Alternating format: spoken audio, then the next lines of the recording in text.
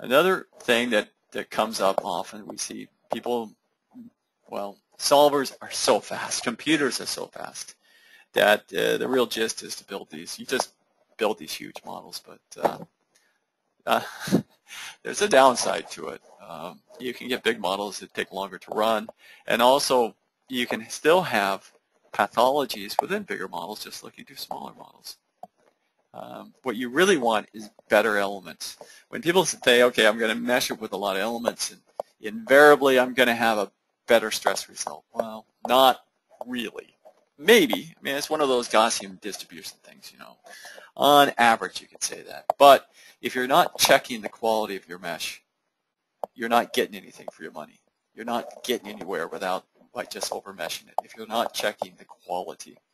And so these are one of, this is what I would call my short list model checkout. Always, always run the Jacobian.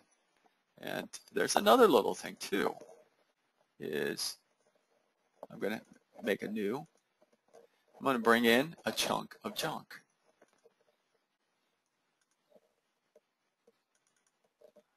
Where, oh yeah, there it was. Even if you can solve like this. And the default is just to go down through solids like that. I'm not going to use mid sides oh, because I want to just, I'm gun. You guys are watching, this is boring. Um,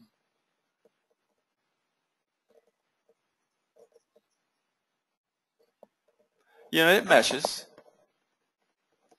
And when I say check the Jacobian, I'm always coming under, well, I want to make sure you got it. I'm using this item here, model data contour. If you guys have attended our the seminars, you know about it. We always just come down and pick the Jacobian. And of course, you can have values above 0.9. Basically, anything above 0.9 is a dead element.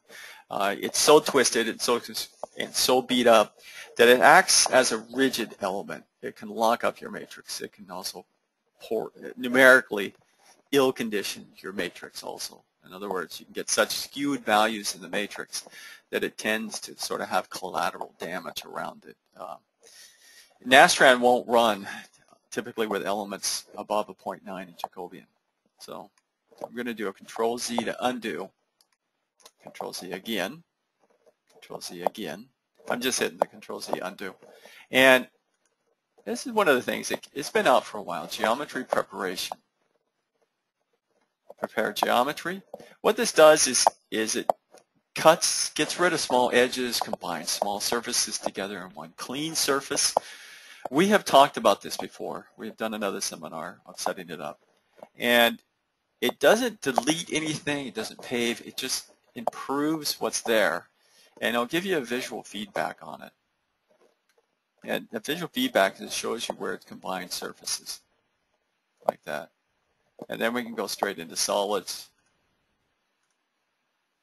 Same drill. Voila. So when we're doing solid meshing, we'll check the Jacobian. If the part's particularly complex, we're going to use the geometry preparation. But we're doing it with, with an intent. Our intent is, is to get better quality elements. Back to the Jacobian. And now we're down to 0.819. Okay. And if you want to see more on this, voila, another seminar. Femap and Nastran update. Okay.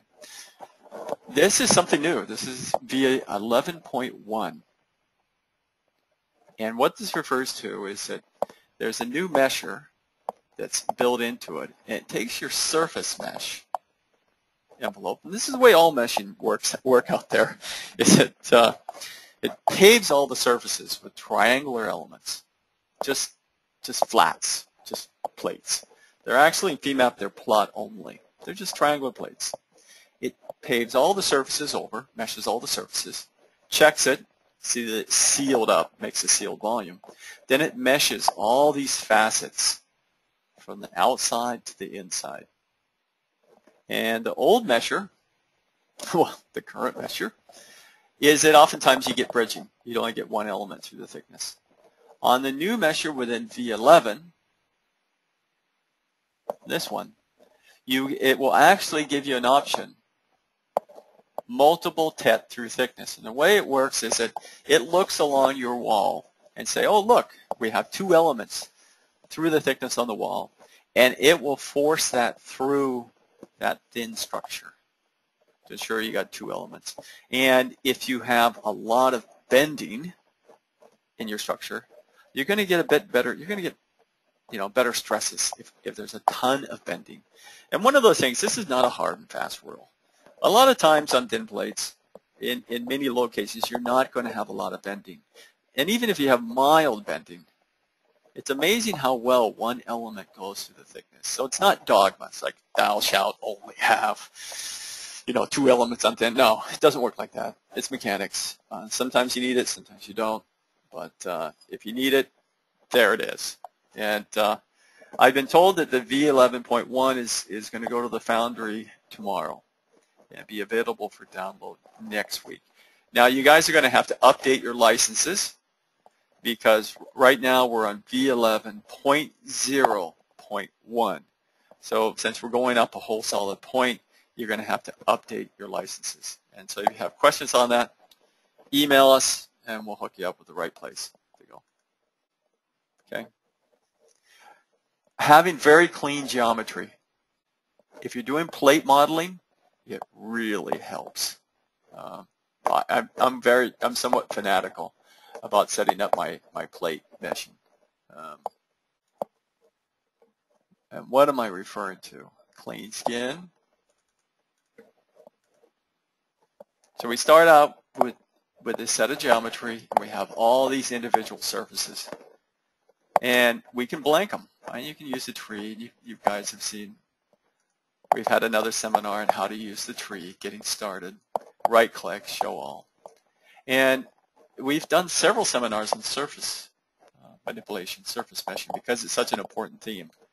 And I'm holding the, this, I'm pushing the shift key down, holding the left mouse button, and selecting all. And if you want to see the selector, I can hit this little selector button. If I want to turn it off, I hit it again, hit OK. And if I stitch it up, it tells you where you have the free, free edges. And we have a free edge between this part and, and on the tree here, well, I'll, double click on the screen. Uh, we, now we're down to two solids. And this has been historically the what you had to live with. Well, about two years ago, you have non-manifold add. And now you can pick the two solids and it'll stitch them together. It'll make that a continuous, there's only one curve there. There's not two curves. So for meshing, that is pretty sweet. And now, what I want to do, let's go to the next page. Show something in V11 that was that was very nice. It's the non-manifold add has, if you got perfect meetup, perfect junctures, it works quite well. But the reality of, you guys have been there, you get things, this is just a bit exaggeration, but you get geometry that doesn't meet up, that's just a chunk of junk. So in V11.1, you can go to geometry surface, non-manifold add, and the tolerance here really, really works. Watch this, I'm going to set it to 0.1. Voila. Stitches it up. That, I thought, that was pretty amazing. So and what I call this is, I know best practices. I'm, I don't want to get into say like marketing, marketing. How do you, how do you really, you know, what are best practices? Well, you need to know what's going on. I mean, you need to know what is happening on the software front, that you can take advantage of it and build better models, build more accurate models. And so this is part of it. It is, it's, uh, I remember the old days, I, I, I'm a member of ASME, and uh, you go to the meetings and uh, I haven't been to a meeting in a long time, but I feel sort of guilty because you know that's part of professional development is is staying staying into your field and staying abreast of it. So This one is under, I'm calling this stress, stress visualization and validation. And although it's perfect quad, best practices, attention to detail. If your model looks good, if it has that smooth, clean look, it's going to instill more confidence in people. Um, yeah, it sounds a bit silly. You think, well, why does it matter? You know, um, I just got to build it. I just got to get get done.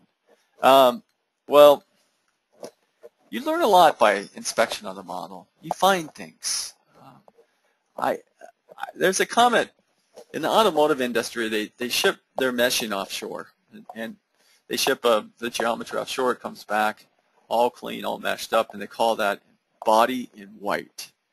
Um, and then the analysts uh, onshore do all the details of putting things together.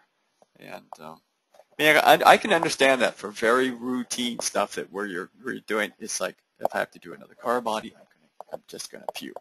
Um, I can I can see that, but for most of us, I think we're doing different parts, doing different structures. It really helps to get into it, and it really helps to to understand where things are going and how things are put together. So I'm a, I'm a real fan of still doing my own meshing. And the meshing toolbox, I, I live a lot in it on surfaces. So my sequence is once I get something that looks clean, I'll stitch it into manifold, I'll stitch it into a coherent body, and then I'll start working on it, and then I'll stitch it into non-manifold, and then when I mesh it, then I'm into the meshing toolbox, and I'm cleaning things up. like these little small edges like that. And here we have a surface split, so now what I'm going to do is combine boundary surface like that. And then you can walk through this, and this is something I've done a seminar, I think I've done three seminars on, this, and it's all there. And where you want, where you're going with it is something like this. The perfect quad, your, your maximum Jacobian, maybe eh, it's 0.3. That that is clean. And one of the things with something like this, you know the stresses are just going to flow. That is just going to look beautiful. And we have more information. We got surface modeling. And also, I did this article for desktop engineering, stress visualization and validation. And um, go under web page, white papers,